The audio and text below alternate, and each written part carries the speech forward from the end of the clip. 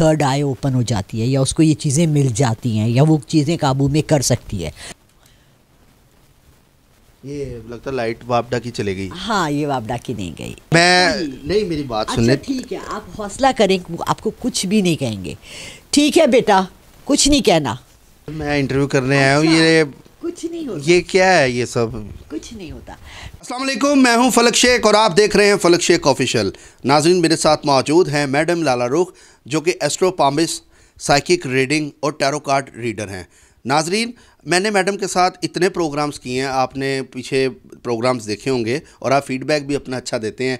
लेकिन मैडम का एक सोशल मीडिया के ऊपर मैंने एक क्लिप देखा, जिसमें एक निजी चैनल पे मैडम अपने बारे में बता भी रही हैं कि ये जिन्नात को बुला लेती हैं। इस तरह की ये बातें कर रही थी मैडम। तो टैरो कार्ड रीडिंग के लिए तो चलो मैंने इनके इतने प्रोग्राम्स किए वो तो समझ आता है सियासत पे, आप इनकी प्रिडिक्शंस देखते हैं।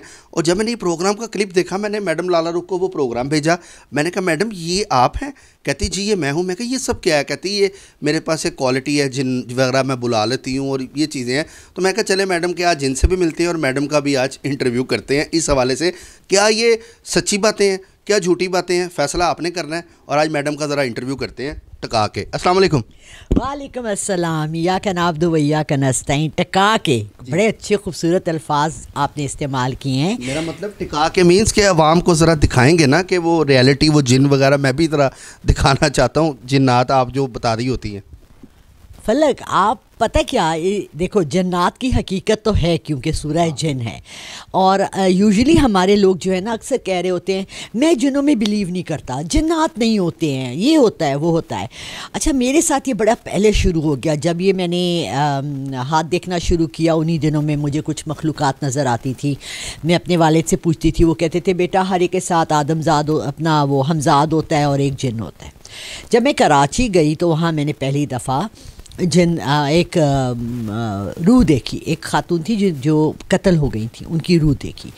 उसके बाद क्या हुआ कि हमारे इत्तेफाक से एक मेहमान आ गई हमारे घर में रहने के लिए, वो अमेरिकन थी, जेनेट नाम था उसका, मुझे अभी भी याद है, जबकि ये 1982 की बात है।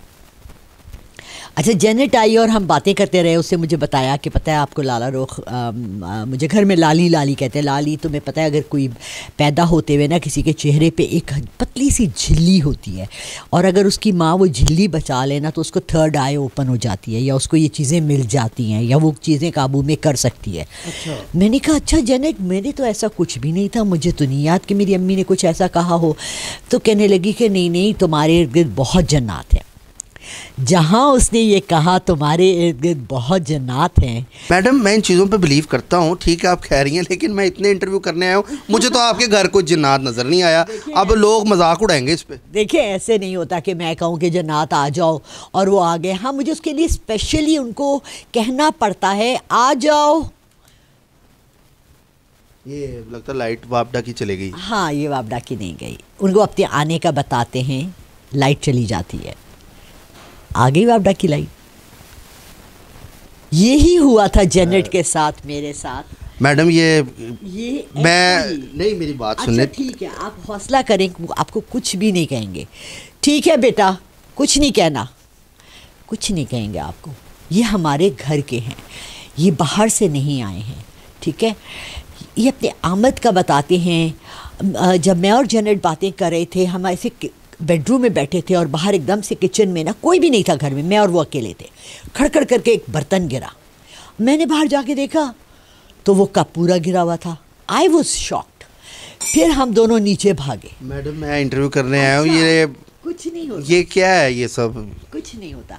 फिर क्या हुआ कि वो मुझे कहने लगी अच्छा चलो हम दोनों भाग के बाहर जाते हैं। चले बाहर मैडम ये अब ये कहाँ से आवाज़ें आ रही हैं? ये सब क्या है? देखिए आप और मैं कमरे में हैं और कौन है?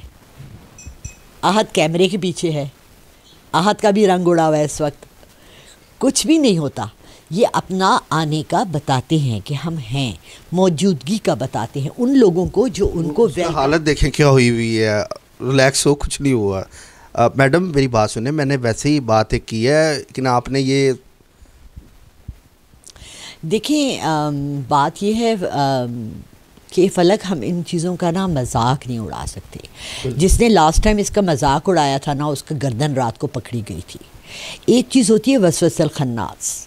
ठीक है मेरी अम्मी कहा करती थी कि बेटा ऐसे लगता है जैसे गठड़ी ना बुरकों की काले बुरके उस वक्त होते थे।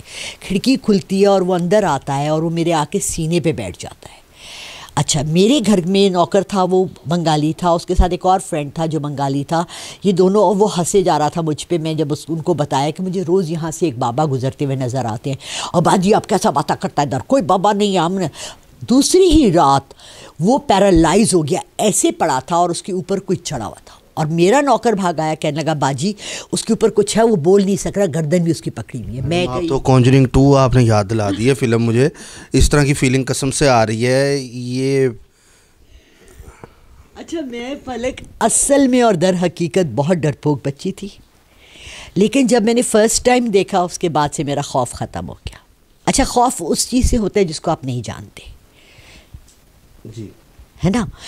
क्या करेगा? कैसे रिएक्ट करेगा? हमारे साथ क्या करेगा? हमें कोई नुकसान होगा? ये तमाम चीज़ें हमारे खौफ को जन्म देती हैं। फियर दुनिया में सबसे बड़ा काबू करने वाली चीज़ है। अब वो आ गए हैं बैठे हुए हमारे साथ उनको आपको कुछ मीठा खिलाते हैं जलेबियाँ मंगवाते हैं इनके लिए ताकि ये प्यार से आज रात को यहाँ मेरे कमरे से चले जाएँ और ऊपर के कमरे में जहाँ ये लोग इंजॉय करते हैं वहाँ बैठ जाएँ। यार मैं नहीं कर रहा प्रोग्राम आज ये मैडम ये क्या है? सब ये ना करे। यही ख़त्म कर नहीं मुझे नहीं समझ आ रहा है। ये ये सब क्या हो रहा है? बंद कर दे कैमरा यार नहीं समझ आ रही।